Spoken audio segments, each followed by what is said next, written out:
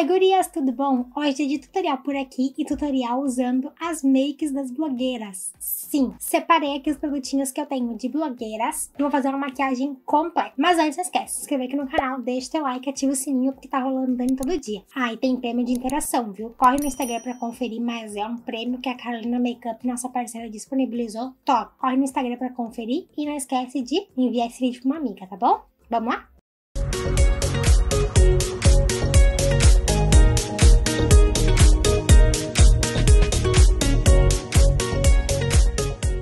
Separei aqui os meus produtinhos que eu tenho das blogueiras, tá? Alguns produtos eu já tive, acabou, como por exemplo, corretivo, pó. E vou deixar linkadinho aqui na descrição para vocês conferirem as resenhas, tá? Mas vou dar um jeitinho aqui de fazer uma maquiagem completa com os produtos que eu tenho. Começando com primer, eu tenho o BT Glotion da linha Borda Tavares, que ele é um iluminador em gel, tá? Ele é ótimo para hidratar o rosto, deixa o iluminado muito bonito e eu vou aplicar nesses pontos aqui. Eu gosto muito da fragrância dele, o iluminado que ele deixa é muito bonito, sabe? E sem falar que a maquiagem dura muito mais quando aplica ele. Eu gosto de usar ele assim mesmo, embaixo da base. E eu apliquei só nesses pontos, porque aqui nessa região vou aplicar Hydra Blur de Dona Nina Secrets. Teve uma maquiagem inspirada na Nina, vou deixar aqui nas cards e na descrição. Então vou pegar um pouquinho assim. E eu gosto muito de aplicar nessa área. Se eu aplicasse o primer da Bruna nessa área, não ia ficar tão bom, porque daí dois primers, né, juntos não ia dar tão certo, porque eles têm texturas muito diferentes. Então, usei um no centro do rosto, que é onde eu quero diminuir os poros, e o outro no resto do rosto. Então, primer BT Glotion de linha Bruno Tavares e Hydra Blur de linha Nina Secrets. Agora, para a base, eu tenho duas. A base da Nina, que já tem resenha por aqui, vou deixar o card aqui e link na descrição. Então, base Hydra Glow da Nina Secrets e também base de Boca Rosa Beauty, que também já tem vídeo aqui nos cards e na descrição. Todos os links vão estar na descrição, tá? Porque nos cards não vai caber. Eu gosto muito dessas bases. Essa aqui tem uma cobertura mais glow, mais natural, e essa aqui é uma cobertura bem pesada. Eu sei que tiveram mais umas versões aí, o pessoal fala de uma coisa, de outra.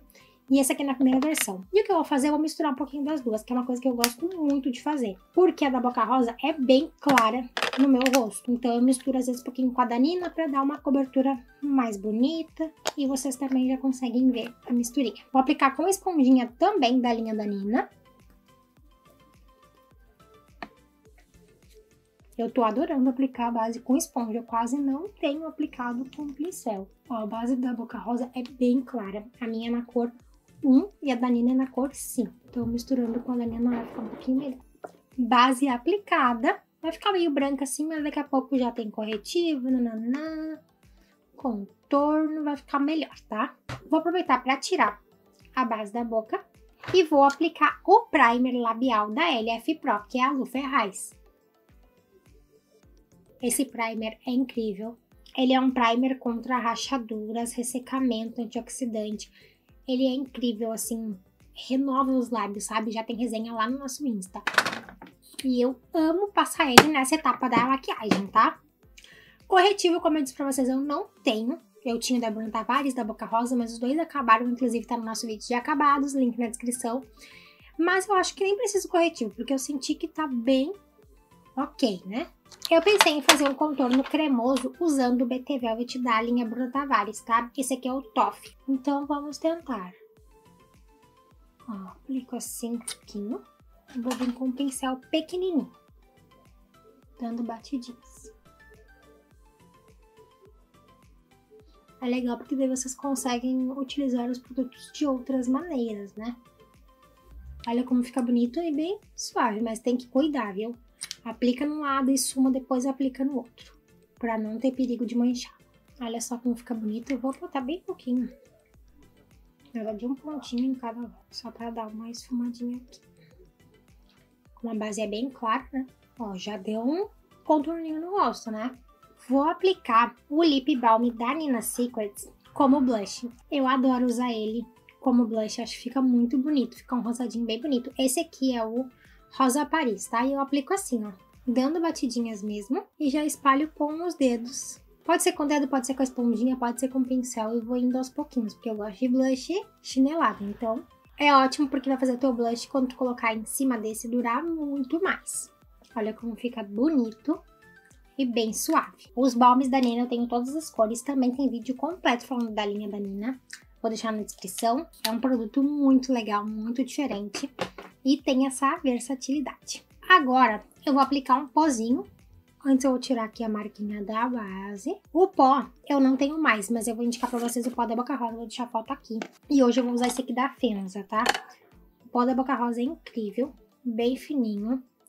Inclusive, comparei ele com o pó da Laura Mercier. Também tem vídeo, estar na descrição, mas vou dar batidinhas, principalmente aqui nas olheiras, onde eu quero selar. Eu só não comprei o pó da Boca Rosa de novo, porque eu preciso acabar com esses pós que eu tenho. Porque ele é incrível, eu não vou querer usar outro. Agora, como blush, contorno, iluminador, eu ia indicar pra vocês essa paletinha da Boca Rosa, tá? Que ela tem contorno, blush e iluminador. Porém, essa paletinha foi uma edição especial, então tu não consegue encontrar ela. Estão dizendo que ela vai voltar, então torcemos. Mas, para não ficar sem blush, eu vou usar a paleta de sombras da Mari Saad, essa cor aqui. Só para dar uma coradinha. Isso é muito legal de vocês testarem aí também. Às vezes tem um produto, não gosta de um jeito. Contorno, vou usar o marronzinho também da paleta da Nina. Sombra também, né? Só pra gente selar ali. Essa paleta da Nina também foi edição limitada, mas tem algumas vendendo ainda. A da Mari tu encontra com muita facilidade, mas a da Nina ainda tem algumas pra ir em Iluminador, escolhi esse aqui da LF Pro, que é o beige. É um iluminador muito poderoso, ele é lindo, lindo, lindo, lindo. E ele é solto. Ele é aquele tipo de iluminador que não deixa degrau, sabe, na maquiagem. Ele é sutil, mas se tu quiser também pode aplicar uma bruma ele fica mais pá, sabe? Vocês estão gostando da maquiagem? Comenta aí o que vocês estão achando. Vamos agora para os olhos. Eu separei a pastinha de sobrancelha da Mari Maria. Primeiro eu vou pentear a sobrancelha. E essa pastinha, ela tem um problema, que é, ela fica dura e descola do pote. Porém, eu ainda consigo usar ela normalmente, tá? A cor dela é muito boa. Ela também é aquele produtinho, sabe, que não vai te deixar na mão. Ela não sai com facilidade, assim, então se chover não vai ficar sem sobrancelha. Mas tem esse porém. Mesmo ela caindo, eu ainda consigo usar, então ok, né? Aplico um pouquinho, já vou penteando. A Mari até disse que isso acontece por causa da embalagem. Lembrando que eu tenho micro, né? Mas eu gosto de preencher um pouquinho a sobrancelha. Hoje em dia, né? Bem pouquinho, antes eu fazia um olho, Então, sobrancelhas prontinhas. E agora a gente vai para os olhos. Para os olhos, eu tenho alguns produtinhos de blogueiras, tá? Tem o BT Velvet, que foi o nosso primeiro vídeo do canal, vou deixar aqui na descrição. Tem o Toffee Black, o Off-White e o Pale. Eu gosto muito desse produto, é incrível, assim, ó. Ele faz uma diferença gigantesca na maquiagem. Tenho também o fixador de sombras da LF Pro. Ele é maravilhoso, eu adoro ele. Eu acho que eu vou usar ele hoje, porque o BT Velvet vocês já viram por aqui. Também tenho esse Plastic Gloss da linha Bruno Tavares, que ele é maravilhoso para usar nos olhos. Tenho um BT Glitter, esse aqui é o Lilac. Ele é lindo, lindo, lindo. Tem o pigmento da LF Pro, que é o preto. Noite Estrelada. É maravilhoso, é lindo. Pensa num negócio lindo. Vai entrar uma maquiagem lá no Instagram usando ele. Aí eu tenho alguns produtinhos que já não tem mais pra vender. Como, por exemplo, essa paletinha da Bruna Tavares Jequiti, ó. Ela é linda, mas não encontra mais. Daí não vale a pena eu usar pra vocês, né?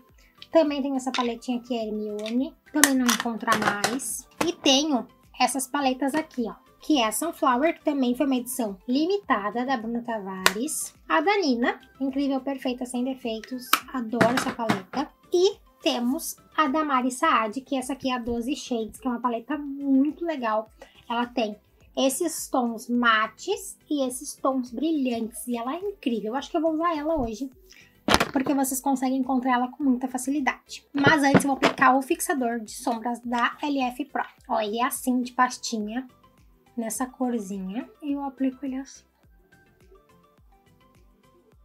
E aí eu dou batidinhas com os dedos mesmo pra assentar o produto ali. Vamos ter essa aqui maquiagem que eu vou fazer. Vou pegar um pincel grande de esfumar e vou vir com a sombra Shy, que é o mesmo rosinha que eu usei de blush, tá? E vou aplicar aqui no côncavo pra marcar esse côncavo. Não pensei muito na maquiagem que eu vou fazer. Eu gosto de vir fazer o que vier, né? Ó, fiz um esfumado. Vou pegar o iluminador da Lu e vou iluminar o ponto alto da sobrancelha. E aí esfumo de novo, com a mão bem levezinha. Agora com o pincel menor de esfumar, eu vou pegar essa sombra aqui que eu não usei muito, que é a Rebel, que é um roxão bem chique. Eu vou aplicar ela no canto externo e no canto interno.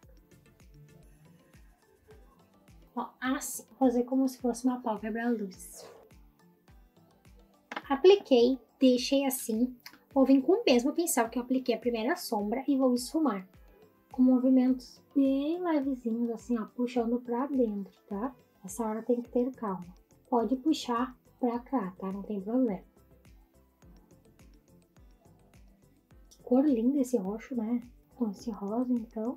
Mais um pouquinho. Tiro o excesso. E agora eu vou pegar um pouquinho do rosa. Só pra ficar mais fácil de esfumar. Não tem problema se manchar aqui, tá? Essa é a base do nosso olho. E agora eu vim com a minha sombra preferida da paleta, que é essa daqui, a Electric. E vou aplicar aqui no meio. Não vou aplicar o fixador de novo, porque essa sombra ela gruda assim, ó, muito. Então, não sinto essa necessidade. Mas se ela não grudasse, eu viria com um fixador. Volto com o primeiro pincel para esfumar. E agora eu volto com um roxinho só para marcar nos cantinhos. Como se fosse uma pálpebra luz. Linda, né? Que cor linda. Vou tirar o que cair aqui com o um pincelzinho. Vou pegar o BT Velvet Black para mim fazer só um esfumadinho na raiz dos meus cílios superiores, tá? Para poder colocar o cílio postiço ficar mais bonito. Então, olha, também serve como delineador. Ele é aquele produto assim aqui que faz a diferença. Só para dar um, uma profundidade, tá? Os produtinhos que eu não usei, como o pigmento da Lu Glitter da Bruna, eu vou usar numa outra maquiagem, não se preocupe, tá? paleta da Nina também vou deixar para usar em outra maquiagem. Eu não tenho aqui nenhuma máscara de cílios, tá? A Bruna lançou uma nova, já testei a Wonderland, mas as novas eu não tenho. Mas eu tenho o cílio postiço da Bruna e é ele que eu vou usar hoje. Já coloquei a cola aqui, vou deixar esperando. Enquanto isso eu vou fazer a parte de baixo dos olhos. Vou pegar o BT Velvet Pale com um pincelzinho assim, eu vou pegar só um pouquinho. Vou esfumar aqui embaixo para ser o meu primer para a sombra que eu vou colocar. Ele dá muito certo, faz a sombra ficar intacta ali, ó, por horas. Com um pincelzinho menorzinho, vou pegar a primeira sombra rosinha e vou aplicar aqui. E agora eu vou pegar essa marronzinha aqui, ó, pra poder esfumar aqui também. Por que que eu escolhi o marrom, tá? Porque ele não é tão forte quanto o roxo e nem tão fraquinho quanto o rosa. O rosa vai dar só um toquezinho ali, mas o marrom vai dar todo o especial. Apliquei o cílio, esse cílio é incrível, sério. Ele é maravilhoso. Vou fazer outro olho e já volto para aplicar o batom com vocês. Maquiagem dos olhos pronta, vamos para batom. E é sem dúvida o item que eu mais tenho de blogueiras. Já mostrei os balmes tintes da Nina, mas também tenho os batons Skin Matte, eles são maravilhosos. Tem uma textura bem gostosinha, sabe? Não é aquele batom seco. Também tenho esses dois da Boca Rosa. Esse aqui é o Boca Rosa Maravilha e o Boca Rosa Queimado.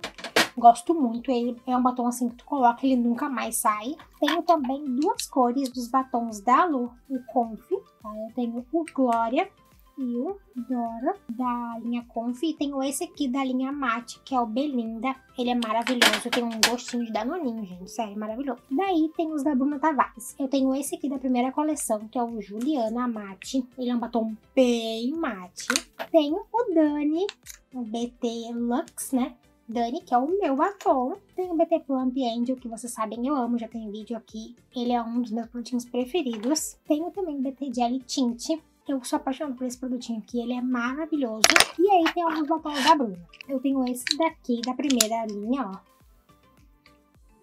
Da primeira coleção, né? Eu tenho o Elisa, Bianca, Luciane, que é o meu preferido, tem um brilhinho, Evelyn e Lia, que foi o primeiro que eu comprei. Daí eu tenho esse aqui já na nova embalagem, mas nem é mais essa, né? No caso, a segunda embalagem, esse aqui é o Victoria. E tenho esse aqui que é da coleção também Sunflowers, que é o C. Ele é lindo. E eu vou usar esse aqui da linha Nina Secrets, que é o vinho jasmim. Acho que vai combinar com a make, né?